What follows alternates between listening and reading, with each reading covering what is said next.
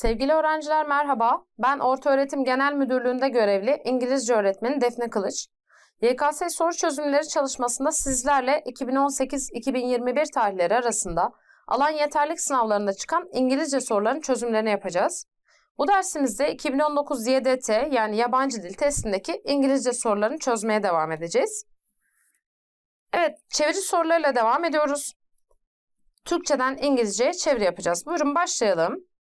Böbreklerimizin kaldırabileceğinden daha fazla su tüketirsek kanımızdaki sodyum ve diğer elektrolitlerin yoğunluğu azalmaya başlar ve belirli bir noktadan sonra hücrelerimiz kontrolsüz bir şekilde su emer. Evet, burada temelde dikkat edeceğim şey zaten cümle ikiye bölünmüş. Bir koşul bağlacı var. If'li bir yapı bekliyorum ya da on, o anlama gelen benzer bir bağlaç. İkiye ayrılmış bir cümle var V diye tekrar ve geniş zaman var. Bu doğrultuda seçenekleri inceleyelim. Even if more water than our kidneys can tolerate is consumed.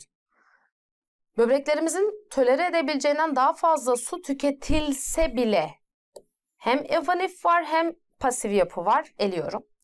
When we consume more water than our kidneys can tolerate, the concentration of sodium and other electrolytes in our blood drops. Evet burada durdum. Azalmaya başlar. Burada ne diyor? Azalır. Zaten when, if koşul yapısını çok karşılamıyor.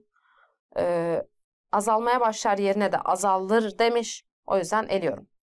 Consuming more water than our kidneys can tolerate will decrease. Böbreklerimizin tolere edeceğinden, böbreklerimizin kaldıracağından daha fazla suyu tüketmek, su tüketirsek demesi gerekiyordu. Eledim. Çünkü buraya olduğu gibi özne yapmış ama bizim cümleye ihtiyacımız var. If we consume more water than our kidneys can tolerate. If var, we var, fiilimiz var, aktif. The concentration of sodium and other electrolytes in our blood begins to drop. Düşmeye başlar. And, ve de var. Beyond a certain point, belirli bir noktadan sonra, our cells uncontrollably absorb water. Evet, aradığımız seçenek gibi görünüyor. Bakalım E'de. The concentration of sodium and other electrolytes in our blood begins to drop and beyond a certain point, our cells will uncontrollably absorb water when more water than our kidneys can tolerate is consumed. Yine bir when ve yine pasif yapı elemek için sebeptir. Dolayısıyla doğru cevabımız D seçeneğidir. Evet sorumuza bakalım. Düşen doğum oranları ve yaşlanan nüfus sonucunda bazı zengin ülkeler küçülecek ve daha az etkili olacaktır. İki tane fiilimiz var ve ile bağlanmış. Öznemiz ne? Bazı zengin ülkeler. Ve başta da düşen doğum oranları ve yaşanan nüfus sonucunda diye bir yapı var. Bakalım şimdi seçeneklere. Some rich countries with falling birth rates and aging population will. Evet özneye bakıyorum. Olduğu gibi şurası. Böyle olursa özne nasıl çevrilir? Düşen doğum oranları ve yaşlanan nüfusla birlikte bazı zengin ülkeler. Ama bizim düşen doğum oranları ve yaşanan nüfus sonucunda dememiz gerekiyor. O yüzden A seçeneğini eliyorum. As a result of, evet, bakalım doğru devam edecek mi? Falling birth rates and aging population. Some rich countries, evet öznemiz de geldi, will become smaller and less effective. İşte aradığımız cevap B seçeneğinde olacak. Öznemiz yerinde as a result of geldi. V ile bağlandı. V ile bağlandı.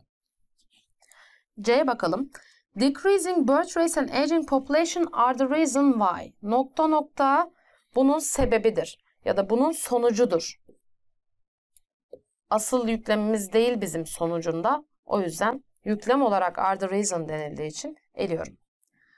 Falling birth rates and aging population will. Bizim öznemiz düşen doğum oranları ve yaşlanan nüfus değildi. Bazı zengin ülkeler olması gerekiyordu. Getting smaller and less influential is the consequence of nokta noktanın sonucudur der burada da. Ama sonucudur değil bizim fiil kökenli bir cümlemiz var. O yüzden E'yi de eliyorum ve doğru cevabımızdır. Devam edelim. Soru 72.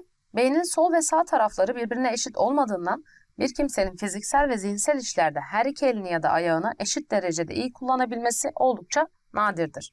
Evet, önemli olan ne bizim için soru köküne bir inceleyelim. Birbirine eşit olmadığından burada bir sebep sonuç ilişkisi durumu var. Bu önemli. Devam edelim. Bir kimsenin fiziksel ve zihinsel işlerde her iki elini ya da ayağını önemli. Eşit derecede iyi önemli. Kullanabilmesi oldukça nadirdir demiş. İsim kökü olması bizim için önemli. Devam edelim şimdi seçeneklerle. It's very rare for someone to be able to use both hands or feet equally well in physical and mental tasks since the left and right sides of the brain are not equal to each other. Evet. It's very rare, nadirdir. Kullanabilmesi. iki el ya da ayak demiş ya da verilmiş. Equally well eşit oranda iyi. Since madığın olmadığından durumu verilmiş. Evet, are not equal to each other. Evet. Tam olarak karşılanmış gibi görünüyor istediğimiz her şey. A seçeneği bir dursun. B'ye bakalım. Some people can hardly use both hands and or feet equally well in physical and mental tasks because çünkü diye verilmiş ve insanlar e, ellerini ve ayaklarını bazı insanlar ellerini ve ayaklarını eşit oranda neredeyse hiç kullanamazlar anlamında. Neredeyse hiç yapamazlar. Can hardly use. O yüzden oldukça nadirdir bizim isim kökü. Burada can use kullanamazlar. Kullanmaları nadir olabilir. Nadiren kullanabilirler. Pardon. E, fiil kökü olduğu için B'yi elerim. Since the left and right sides of the brain are not equal to each other, physical and mental tasks make it impossible for someone. Fiziksel ve zihinsel işler imkansız nokta noktayı imkansız kılar demiş.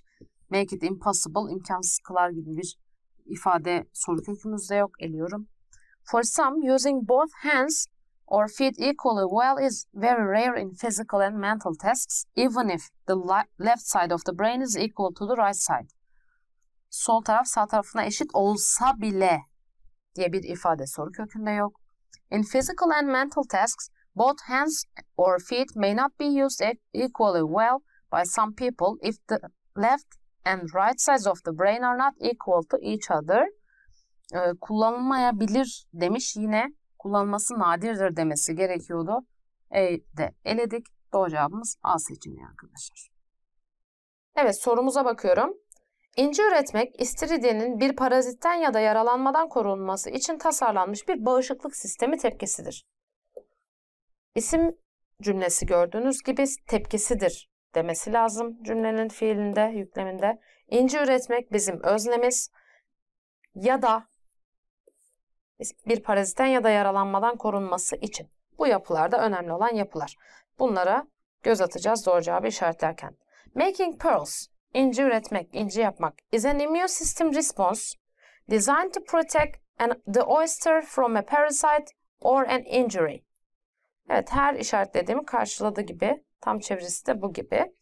Bakalım diğer seçeneklere. An oyster protects itself from a parasite or an injury by making pearls. İnci üreterek bir istiridye kendini pazar, parazitten ya da yaralanmadan korur diye çevrilir bu cümle. Doğru seçenek olmaz. Designed as an immune system response.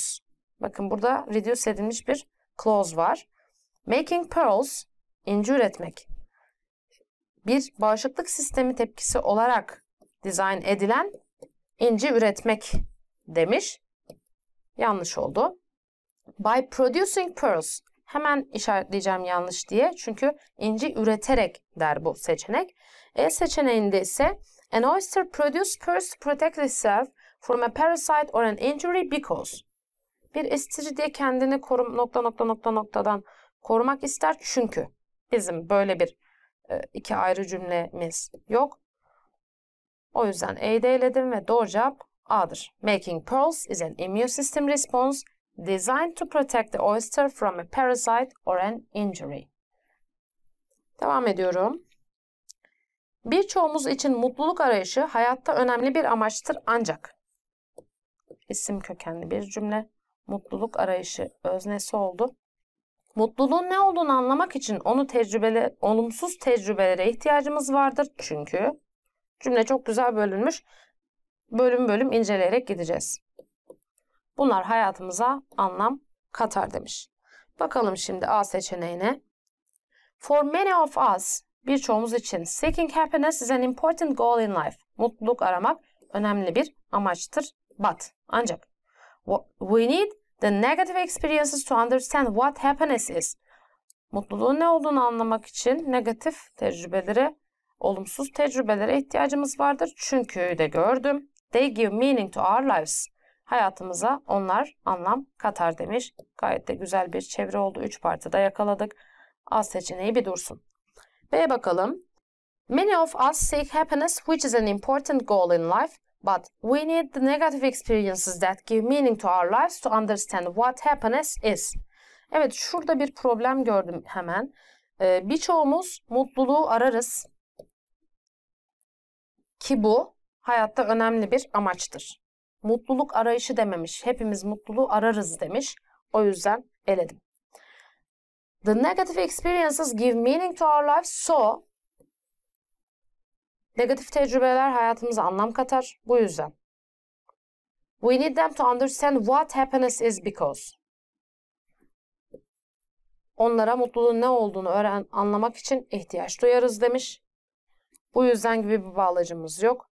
Bu şekilde de cümlemiz başlamamış. O yüzden eledim. D'ye bakalım. For most of us, happiness is an important goal in life. Evet, birçoğumuz için mutluluk önemli bir hayat, e, hayatta önemli bir amaçtır. Bu yüzden. Ama bizim bağlacımız neydi? Ancak da onu da eliyorum. We look for it. Ararız demiş zaten.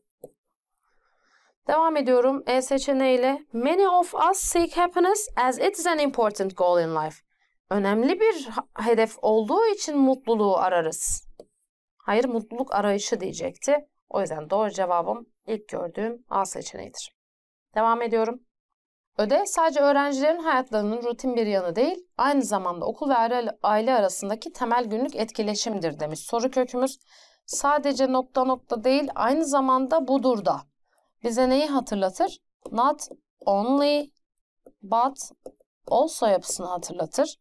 Bu yapıda bir cümle bekleyeceğim. Aynı zamanda etkileşimdir, rutin bir yanıdır anlamında isim cümleleri bekleyeceğim. Bakalım.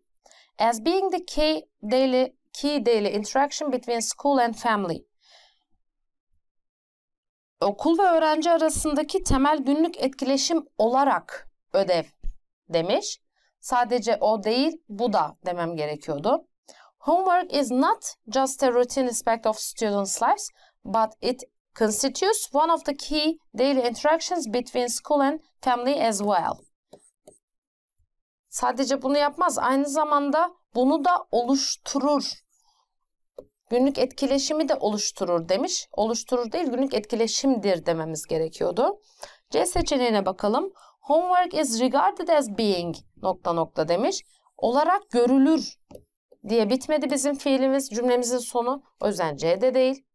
Homework is not only a routine aspect of students' lives, but also the key daily interaction between school and family.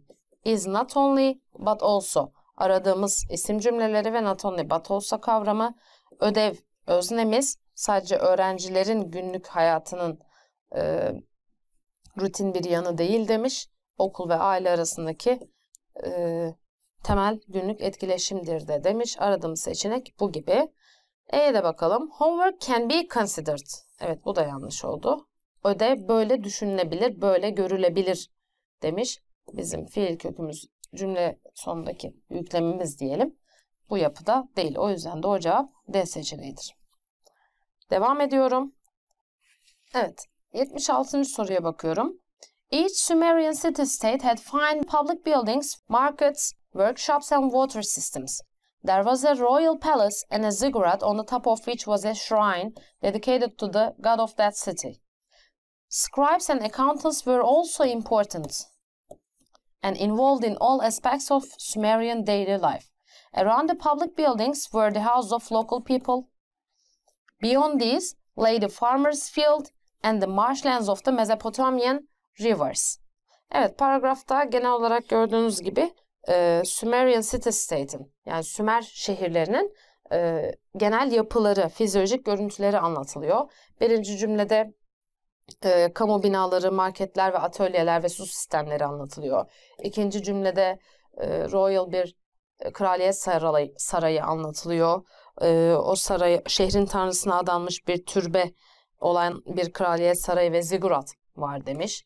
E, üçüncü cümlede yazıcılar ve aynı zamanda muhasebeciler de önemliydi. Kişilere döndü üçüncü cümlede farkındaysanız. Dördüncü cümleye bakalım yine public buildings halka ait binalardan bahsediyor. Beşinci cümlede ise farmers field yani çiftçilerin tarım arazilerinden bahsediyor. O zaman paragrafın genel olarak fizyolojik yapıyı, şehrin fizyolojik yapısını anlattığını düşünürsek Sümerlerin günlük hayatları için önemli olan kişiler durumun dışında kalır deriz ve doğru cevap C seçeneği olur. Evet sorumuzu okuyalım. Humans need social interaction, so depriving them of social contact, like when prisoners are sent to solitary confinement, is recognized by psychologists as a form of torture. On the other hand, too much social interaction can be tiring, engaging with someone is a lot of work for the brain. This explains the apparent contradiction between humans needing social interaction but also needing privacy. The social brain hypothesis, first put forward in the 90s, suggests that our sociable nature is why we have such developed brains. Social interaction wears our brain out, so we need privacy to get away for a bit and recharge. Evet gördüğünüz gibi insanların sosyal ilişkilerinden, sosyal ilişkilerin e, düzeyinden ne hangi sıklıkta olması gerektiğinden bir nevi bahsediyor. Birinci cümlede insanlar sosyal e, iletişime ihtiyaç duyar. Onları e, sosyal temastan mahrum etmek psikologlar tarafından bir işkence biçimi olarak görülür diyor. İkincisinde diğer taraftan da çok fazla sosyal etkileşim yorucu olabilir. Ee, ve biri, birisiyle ilişki kurmak beyin için çok fazla iş olabilir diyor. Bu durumda şunu açıklıyor diyor. Bakın devam ediyor. Öte yandan dedi iki farklı şeyi anlattı. Bu durum şu çelişkiyi açıklıyor diyor. Birey sosyal etkileşime ve aynı zamanda da mahremiyete ihtiyaç duyar. O zaman bağladı mı bağladı. The social brain hypothesis first put forward in the 90s. Evet bu defa tarihçesine geçti. Sosyal e, beyin hipotezinin tarihçesine geçti. Sonra tekrar sosyal interaksiyondan bahsetti. E, ve ne dedi? Sosyal etkileşim beynimizi yıpratıyor. Bu yüzden biraz uzlaşmak ve yeniden şarj olmak için mahremiyete ihtiyacımız var dedi. O zaman tekrar üçüncü cümleyi beşinci cümleye bağladık ve gördüğünüz gibi dördüncü cümle konu dışı oldu ve bizim irrelevant cümlemiz oldu. Devam edelim. Soru 78 ne demiş? An elephant has a very large brain for its size and the temporal lobe region responsible for memory is more developed. The fascination with elephant memory has only been around for the last 200 years or so. This results in powerful abilities to download important survival data such as where to find food and water and who is friend or foe. The matriarch of a herd may recognize over 200 individual elephants and can react to the call of a deceased member of her herd two years after their death. During droughts, these grandma elephants lead family members to waterholes by recalling detailed maps they have made spanning hundreds of kilometers. Evet, paragrafta e, genel olarak e, fillerin hafızasından ve fillerin hafızasının e, ne kadar güçlü olduğunun örneklemlerinden bahsediyor. Buyurun inceleyelim ve anlatım bozan cümlemizi bulalım. Birinci cümlede e, bir filin boyutuna göre çok büyük bir beyni vardır. Ve hafızadan sorumlu temporal lob bölgesi daha gelişmiştir demiş. İkinci cümlede fil hafızasına duyuran hayranlık son 200 yıldır vardır demiş. Hayranlıktan bahsediyor. Fil hafızasından bahsediyor yine ama hayranlığa geçiş yapmış. Onunla ilgili bir bilgi olabilir. Üçüncü cümleye bakalım. This results in powerful abilities. Bu yiyecek ve suyun nerede bulunacağı. Şuraya geldik. Kimin dost, kimin düşman olduğu gibi önemli hayatta kalma verilerini indirmek için güçlü yeteneklerle sonuçlanır. Evet bu sonuçlanır dediği şey Ney? This'e refer eden şey ne? Yukarıdaki fascination mı? Yoksa fillerin büyük hafızaya, büyük beyinlerinin olması ve hafızadan sorumlu temporal lob bölgesinin gelişmiş olmasıyla alakalı? Bu yeteneğe sonuç yetenekle sonuçlanacak olan şey tabii ki hayranlık değildir değil mi arkadaşlar? O yüzden B seçeneği gibi görünüyor anlatım bozan cümle ama diğerlerini de birbirine bağlayarak bundan emin olmamız lazım. Dördüncü cümlede ne diyecek? Nasıl bağlayacak recalling ve e, beyin e, beynin genişliği, büyüklüğü ve hafızanın e, kalitesini diyelim? E, the matriarch of a herd, evet bir sürünün reisi 200'den fi fazla fili tanım, tanıyabilir demiş. 200'den fazla fili tanıyabilir. Ve sürünün ölmüş bir üyesinin ölümünden 2 yıl sonra çağrısına tepki verebilir diyor. Bakın 2 yıl sonra onun çağrısına tepki verebilir. O zaman bu da yine hafıza ile ilgili bir durum. 5'e bakalım.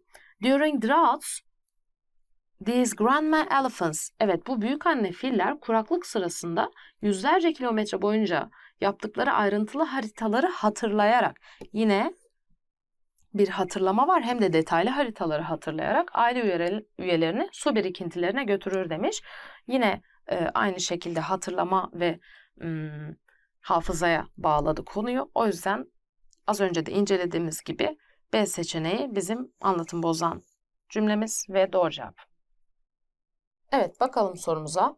One essential requirement of health nourishment is that a meal must be complete. In other words, it must supply all types of nutrients, those used for structural purposes, those used for energy purposes, and those used for regulatory functions.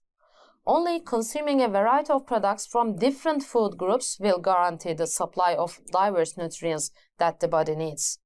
One shouldn't take up even a standard diet without consulting with a doctor. That's to say, only a varied diet containing different types of food can provide the body with the range of nutrients that it requires. Evet gördüğünüz gibi birinci cümlede sağlıklı beslenmenin temel gereksinimlerinden birinin bir öğünün eksiksiz yani tam olması gerektiğini söylemiş. İkinci cümle diğer bir deyişle diye başlayarak yapısal amaçlı, enerji amaçlı ve düzenleyici işlevler için kullanılan her türlü besin maddesini sağlamalıdır bir yiyecek demiş. Üçüncü cümlede yalnızca farklı besin gruplarından çeşitli ürünlerin tüketilmesi vücudun ihtiyaç duyduğu çeşitli besin maddelerinin sağlanmasını garanti edecektir demiş. Tamam, çeşitli yiyecekler, çeşitli yiyecek grupları ve çeşitli besinler dedik. Dördüncü cümlede doktora danışmadan standart bir diyet yeme şekli dahi uygulanmamalıdır demiş. Evet beşinci cümlede de diyetten bahsediyor. O zaman hangisi atılacak? Onu düşünelim. That's to say yani vücutta ihtiyaç duyduğu besin çeşitliliği yalnızca farklı türde yiyecek içeren çeşitli bir diyet sağlayabilir demiş. Burada yiyecek çeşitliliğinde burada bahsediyor değil mi? Doktora danışmak, danışmamak bizim için şu an e, konuda anlatılan, paragrafta anlatılan konuya dair söz konusu değil. Biz yiyeceklerin tam eksiksiz nasıl olur, nasıl çeşitliliği kazanır ondan bahsediyoruz. O yüzden doğru cevap D seçeneğidir. Devam edelim. Soru 80. Evet son soru arkadaşlar. Okuyalım. The ninja emerged in Japan in the mid-15th century as a class of specially trained warriors. The ninja have typically been seen as the antithesis of honorable samurai, but the relationship is in fact much more complicated. They spent their entire lives improving the skills, disciplines, and abilities they needed to become masters of ninjutsu. Training began at a very early age, and like samurai, they began almost as soon as they could walk, learning how to fight with a vast array of weapons from katanas, a long single-edged samurai sword, to throwing stars. They were extremely fit and capable of impressive physical feats, such as running for a long period of time, scaling castle walls, leaping great distances, and fighting multiple opponents without weapons. Evet, paragrafımızda genel olarak ninjaların nasıl yetiştiği, hayat boyu nasıl egzersizler yaptığı, ne zaman başladığı vesaire anlatılıyor. Birinci cümlemizde Japonya'da 15. yüzyılın ortalarında özel olarak eğitilmiş bir savaşçı sınıfı olduğunu söylüyor ninjaların. Ee, ikinci cümlede bakalım burada tanımı bir savaşçı sınıfı olarak ortaya çıktı deyip tarihi veriyor ve tanımını yapıyor. İkinci cümlede ninjalar tipik olarak onurlu samurayın antitezi olarak görülmüştür. Ancak ilişki aslında çok daha karışıktır, komplikedir demiş. İlişki derken neden bahsediyor? Samuray ve ninja arasındaki ilişkiden bahsediyor. Ve samurayın, e, ninjanın samurayın bir antitezi olarak var olduğunu söylemiş. Devam edelim. Üçüncü cümlede tüm hayatlarını, their entire lives, ninjutsu ustası olmak için ihtiyaç duydukları becerileri, disiplinleri ve yetenekleri geliştirmek için harcadılar diyor. Kimden bahsediyor? Yine ninjalardan bahsediyor. Bütün hayatlarından bahsetti. Dördüncü cümlede eğitimleri erken yaşta başlar dedi. Eğitimlerinden devam etti.